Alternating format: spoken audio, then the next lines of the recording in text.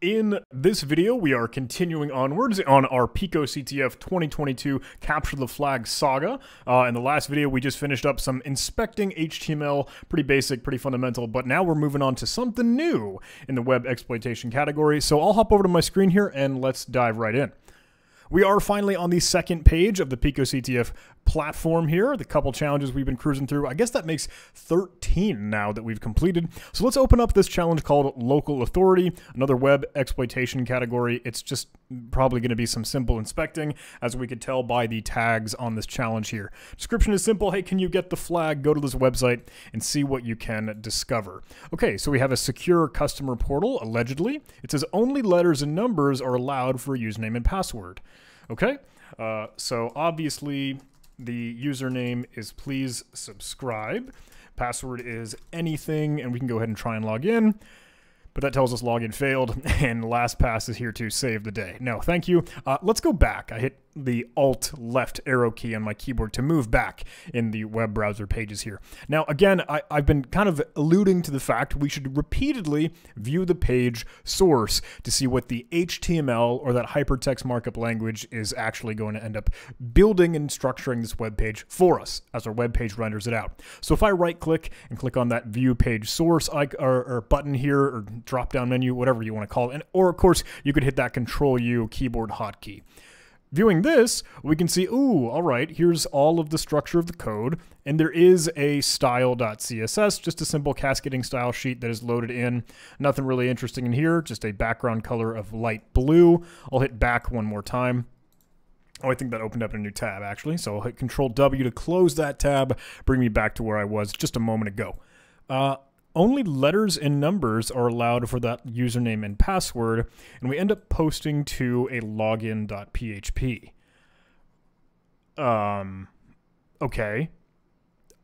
I'm going to assume login.php. PHP, of course, is a server side application. PHP is server side code that runs as a preprocessor hypertext process. I'm totally getting that acronym wrong, but it means that we can't see what's happening because it's over on the server side, not on the client side. However, given that this challenge is named Hey Local Authority and it's asking us to log in, I'm trying to think the way that websites, whether you're on Amazon, whether you're on eBay, I don't know, whether on Facebook, the way that it'll keep track of you as a logged in user is it'll carry a specific token or kind of a special key that says you are who you are. You are able to authenticate, and now that we trust you and believe you, you are this person you authenticated as wear the name tag, wear the badge that says, hey, my name is John, or whatever my user account is.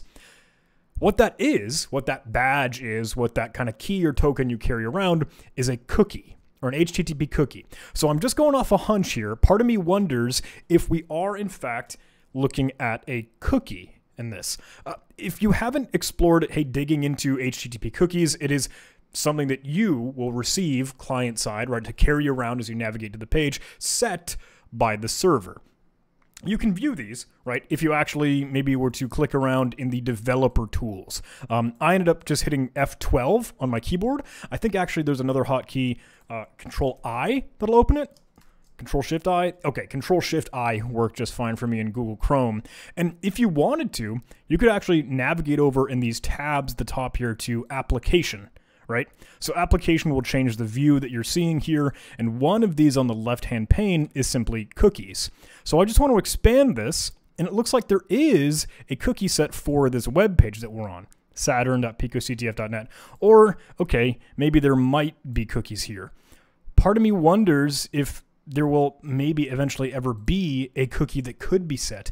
This is just a hunch. I could totally be wrong. In all reality, I'm not quite sure. Um, I'm using a web browser extension here, Cookie Editor. Yeah, Cookie Editor extension or Cookie Manager, any of the two. Any of them honestly just allow you to look at cookies for a web browser um, rather than digging through the developer console if you don't want to. That's one thing that I'm curious about. Um, local, local authority, but it's not setting a cookie, seemingly. It's asking me to just use the inspector. Oh!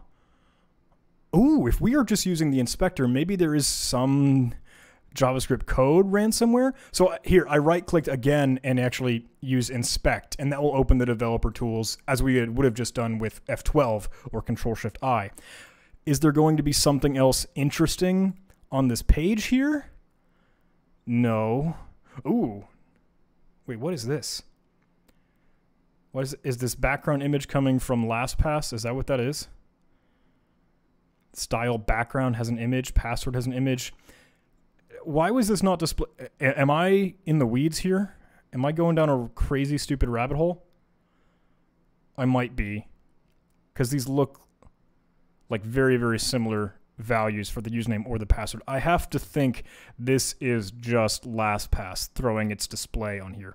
It's an image so um, let me let me verify that super duper quick. I'm just gonna echo all of this disgusting garbage into base64 minus d to decode it, and that'll give us uh, a temporary. I'll throw this in my temp, just an image dot png.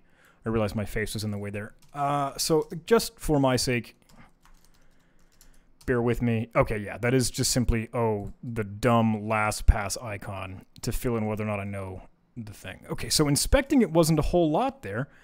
LP checked. Is that something? No, that, that must be LastPass again. Underscore LP makes me think of LastPass. Uh, well, we didn't look at the page when we tried to log in with like, uh, maybe we could use admin admin. How about that? Login failed, LastPass to our rescue again. But if I inspect this page, does it tell us anything new? Login. Ooh, ooh, ooh, ooh. Do you see this? Okay, so there is a admin form hash or in, in a form that's hidden to bring us to the admin.php page. So all of my lecture on HTTP cookies were totally not worth it. Forgive me. I guess maybe we'll see that in another challenge. Maybe. so if we have JavaScript code here that's present, uh, we could actually make sense of all that this is actually running and using for us. Hey, uh, let's take a better look at this. If you navigate over to the Sources tab, uh, Sources will allow us to actually go ahead and see what might be loaded, just like here.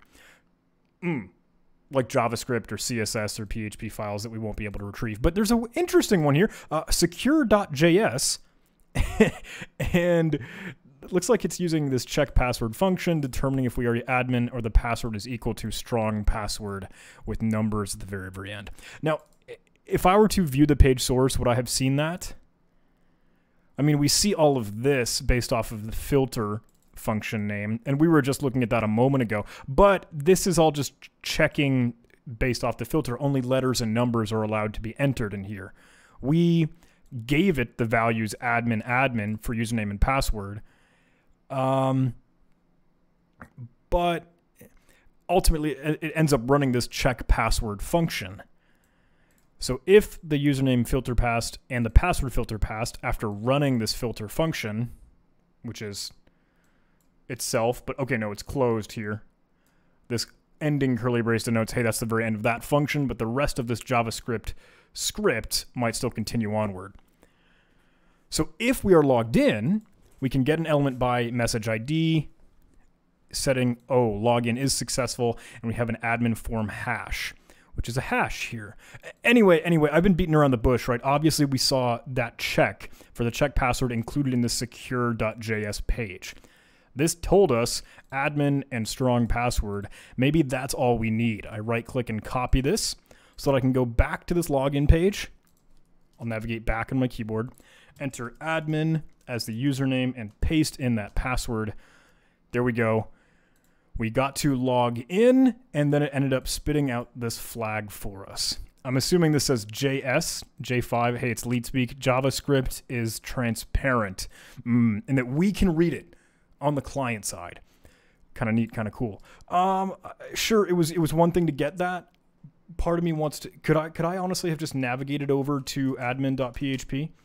Like without logging in, if I went straight to admin.php, no, not authorized. And the reason that that happens is if you kind of think back to, oh, the code that we were just looking at over on the view page source of login.php, it is posting to admin.php. So when we're making a, request, like an HTTP request out to a web server, we're doing a couple maybe different things. These are the HTTP methods that you might send to a server. You could send a GET request and that, hey, you want to retrieve data, you want to get it, and that can pass in specific parameters or values like variables and arguments that you give to the page you're trying to retrieve. And the server side code, PHP, again, will handle that and retrieve data per those arguments. Post is another HTTP method, as we are clearly seeing right here. A method is post, and that will do something different in that you are trying to give it data, not just retrieve data, not just get, right? Posting the page. That will allow it to process things in a different way, depending on how the code or the application is written. And in this case, when we were to try and get the page, it wasn't going to process it, it wasn't going to let us in, which is why it said not authorized a moment ago. With that said, if the admin form hash is kind of denoted there, does it set a value in this hash? uh, it, I, I kind of want to know what this is just because I'm curious here. Or we go ahead and submit something, and maybe that's denoting telling us, oh, admin.php will retrieve and render the flag for us. We could probably see that happen. Let's do that. So I had um, the hash in my clipboard. So before I try and watch the traffic here, let me actually go see if I can crack that hash. I'll use something, a simple online tool like CrackStation. Let's see if it knows what this might be. And by the way, sorry, I didn't mean to just kind of steamroll over this. If you aren't familiar with what a hash is, again, trying to be super fundamental for the folks that might not have seen these videos before, a hash is like a one-way function to bundle up a ton of data into a singular fingerprint or signature or capturing the identity of some data, whether or not it's the word hello, whether or not it's a whole picture or a song or video file. Getting the hash of it is meant to get a as unique as humanly possible. Like, hey, there could be some hash collisions, but it's a one way function to boil it all down into this string of text here. And that string of text is, of course, hexadecimal, as you'd note here. And based on the length, you might be able to determine, oh, what sort of hash is it? What hashing algorithm was used? Whether it was MD5 or SHA-1 or SHA-256, et cetera, et cetera. We don't need to get too nerdy on that right now. Uh, looks like it didn't know what the hash was. The reason that we have to do a, like, check because as I mentioned, it's a one way function to get a hash. Something has to know what the hash is. It can't reverse and work backwards from just a single hash value. So that's why we use CrackStation to see, hey, did you happen to know this in your own database and lookup table, etc. Okay, so cool. That that satisfied my curiosity for a moment. I know we have the flag, but I want to just explore a little bit more to see. Hey, I saw it like jitter. I saw it do something weird when the page loaded to give us the flag. So let me navigate with the developer tools pane open. Let me go to the network tab. And I want to be able to see, okay, if I refresh the page, boom, you can see the HTTP requests being made out to different files that are being served by this web server. We made a GET request to retrieve this home page here. And when I end up entering in admin and password, I'll enter that, and ooh, you saw a whole lot of stuff come through, probably from the actual uh, LastPass shenanigans. So maybe let's clean that one more time. Uh, I'm going to set the uh, preserve log option on, and I'm going to filter for things only from Saturn picoctf.net. So we know this exact page. I'll try it again, admin, password, log in. And okay, it's not going to show me anything new because it's probably going to other endpoints. So uh, that was stupid of me. How about fetch, uh, fetch and XHR ones? Let's go back, clear the log with this clear button. And again, I'm, I'm probably just doing silly stuff that's not necessary. But, ah, no. They're doing their own thing. Let's try and keep the filter off, and we'll see if we do anything else. One last time. I'm sorry. Bear with me. Slap all this in log in. Okay, let's scroll through this. You saw our post request to login.php. Yep. And we ended up including the parameters admin and strong password that we just saw. But following that, scrolling down on the rest of the traffic that was sent here, we got and retrieved the secure.js file, the JavaScript file, and then we saw that admin.php was posted to. Probably, hey, it automatically submitted that form. That sent the hash that we had previously, probably just, you know, telling us that we were in fact logged in properly. And then it will return the response that is just the flag. So part of me wonders do all we have to do is all we have to do just post to the page with this hash value rather than quote unquote logging in again it's all javascript that it was just doing that but it did get sent to login.php in a post request but there's like there were two steps to that authentication which is weird to me um, so let me nerd out and see if i could use something like curl We've used curl before to get pages here, but I, I want to see if I can now post as that HTTP method with curl. We can do that with capital X to specify a method. We know that post is the method that we want to use. And then let's use the URL that would follow, but we know we're going to end up passing some data, like the parameters and arguments and the values that were sent. And we saw that here. Hey, checking out the payload when we submitted to login.php or the payload when we submitted to admin.php. It's at a hash equal to this value. So I'm going to try and set hash equal to that value. Yeah? And now we need that URL. We need of course, post to admin.php. Will this just straight up return the flag for us without logging in and then I'm just doing this with curl? It does. Super duper cool. maybe we beat that challenge to death more than we really needed to. Uh, but that means we can now create a nice and super stupid, kind of easy local authority get flag script. Hey, we're just using our curl tac x and then we're going to use our grep one more time to retrieve only with regular expressions extended, Pico CTF as the flag format with data inside of our curly braces. Uh, I keep using a question mark here after my asterisk to make that search and match with regular expressions lazy.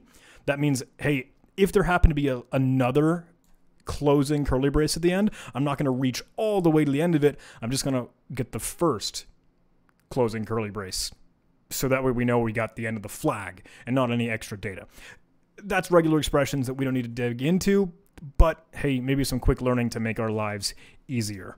We'll turn color to off with none, and there we have our flag retrieved. And of course, we can set curl to silent so we don't get all this weird status output. Silent with tac S there. There's our flag. We can then go ahead and save that and now we know what the flag is. We have our get flag script, and we can say finish to mark that challenge as complete. But we should probably go ahead and submit this flag. So I'm gonna copy it, move over to my uh, web browser one more time, close out of all these tabs, and submit this flag. Dunzo. 100 points, and we are cruising through another one done. Hope you're having some fun with this, everybody. I hope that there has been some nuggets, some value that you've got out of this. I realize, hey, some of these are fundamental, but maybe you're still learning some other things. And I get to sprinkle in other extracurricular investigative detective work. Anyway, if you enjoyed this video, please do all those YouTube algorithm things. You know, I would love it if you could like the video, comment, subscribe, anything that helps the channel grow. That's what I'm all about. Thank you, thank you, thank you, everybody. I love you. I'll see you in the next video. Take care.